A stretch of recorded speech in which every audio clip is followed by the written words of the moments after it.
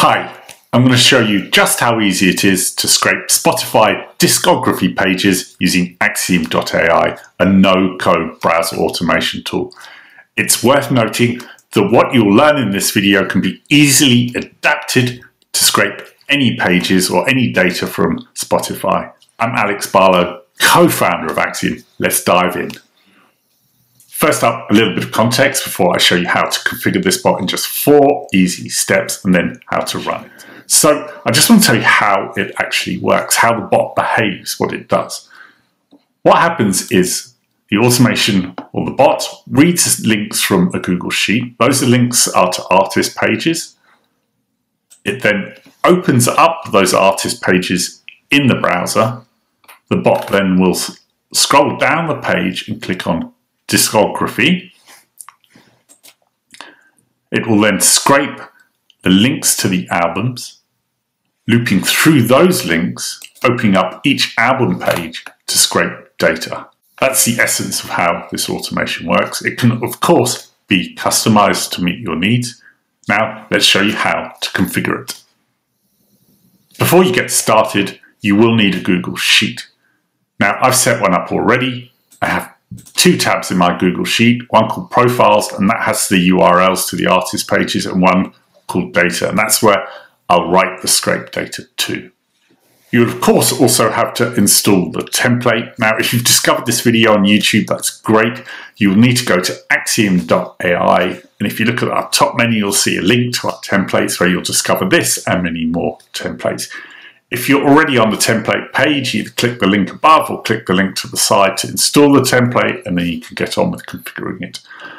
Um, lastly, if you don't have an Axiom account, click either of those buttons to create your Axiom account, then use the free runtime we provide new users to test out this automation.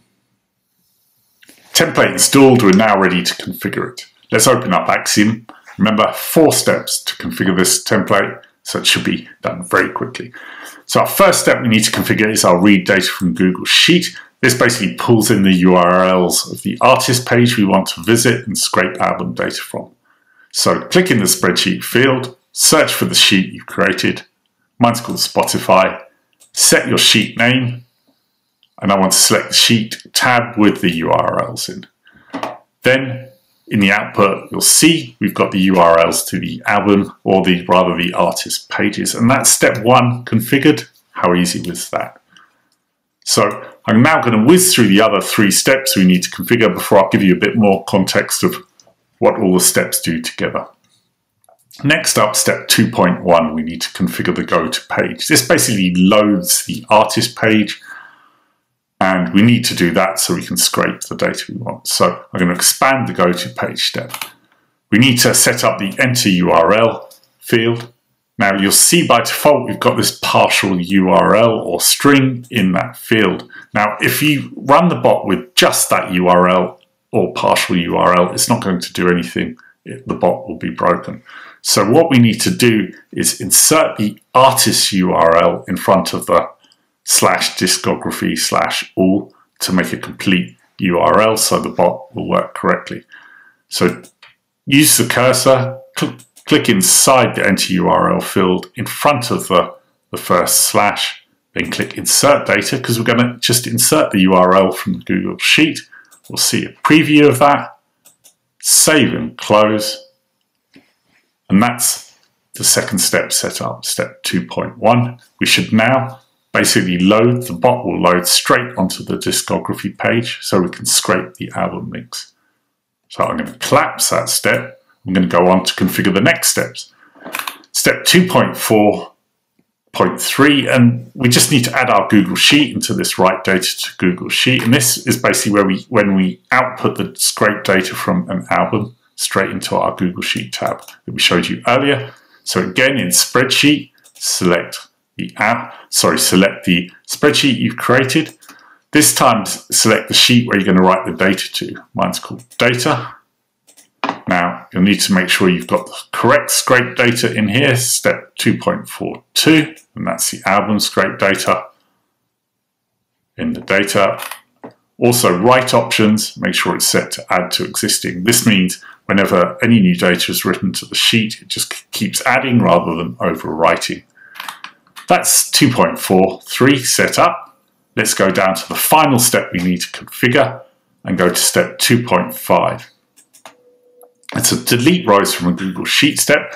We use this step to basically delete the artists that we've just processed and scraped the data from so we don't keep repeating the same job.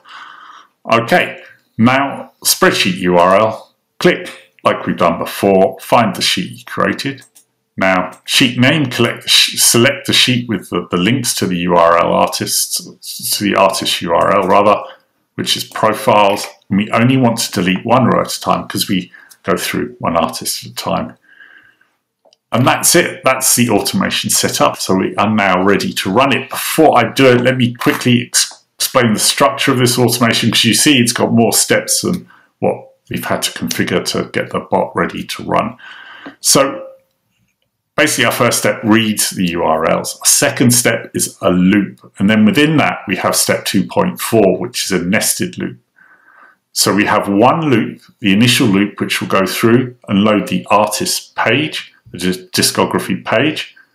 And in that loop, uh, it will scrape the album links. Then we have the nested loop 2.4, where we pass into 2.41 the album links and we loop through those album links, scraping the data from those albums into the Google Sheet before finally we delete the row that's been processed.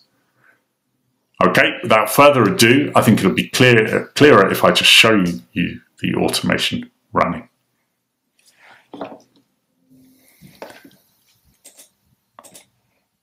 Without further ado, let's run this automation. Let's watch the magic. Let's watch the browser bots in action automating our work. So I'm going to expand Axiom. I'm going to click run. I'm going to run in the cloud for this automation. And what it should do is share the Spotify session. So I should be logged in and no need to log in. Here you can see our cloud runner has opened up. In a moment, we should see the artist page with the discography slash all attached to it. Indeed, we can see that that string has loaded in. If we look at the URL field at the top of the browser, and we can see we've highlighted the links to the albums. Now we're going to loop through those albums. As you can see, the bot is looping, scraping that data, and each time it's going to write some of that data which is copyright data and name, as I mentioned. Then it's going to loop through the next album. And of course, what you can do is specify an, an amount of albums that you want to scrape if you don't want to scrape the whole um, collection. I can't recall. Let me just check whether I did set an amount. I think I, I limited it to about five. So we'll need to set it on the scraper here. 2.3 is where you can set the amount. And yes, I did a limit of 5. So if you wanted to do 10 or 15, just adjust the max results in 2.3. So let me go back to the automation.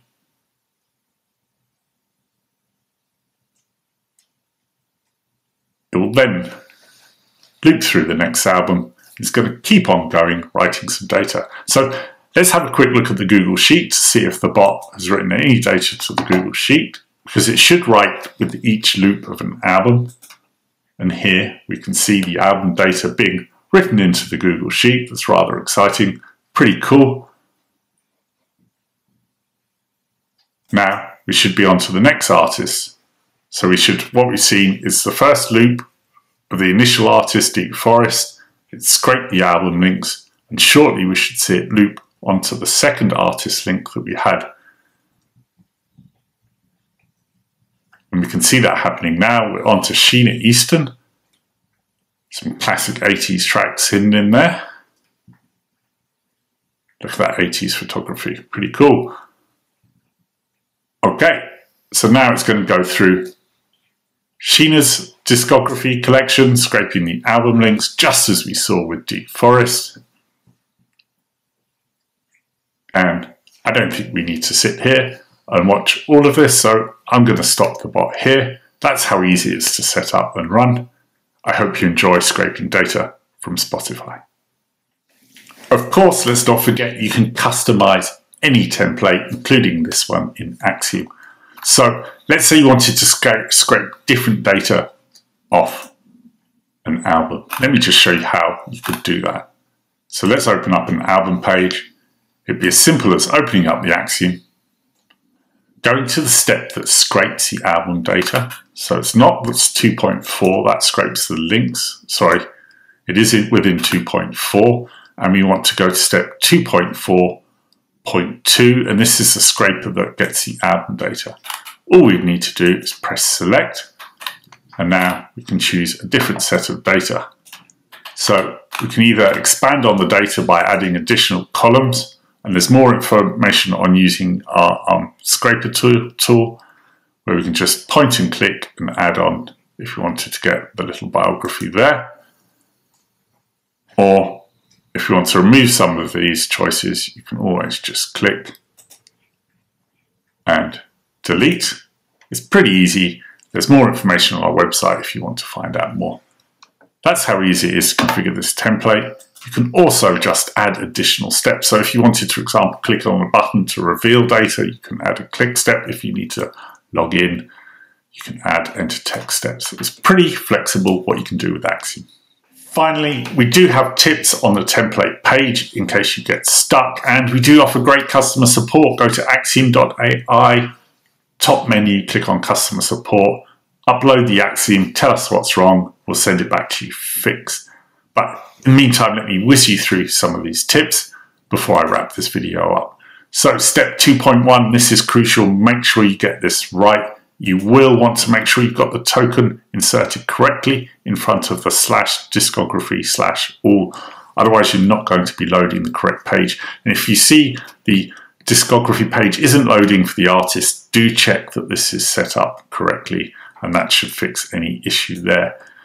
Any issues with the click elements, try reselecting them. It's point and click like you saw earlier with the select tool. Just go onto the Spotify page, then reselect the element to, to bring out the um, grid element.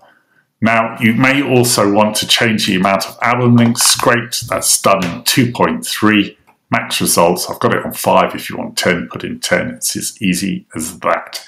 Okay, step 2.4 are album links. Make sure the go-to page is the link data from step 2.3. Then you should loop through those links and also the loop data is correct. Now, if you find the data is being overwritten, make sure you've got add to existing set up. And then lastly, if you keep looping through the same artist, check that you're deleting a row from the profiles or the tab you have with the URLs. But like I said, we do offer great customer support, so reach out to us and we'll help. Thank you very much.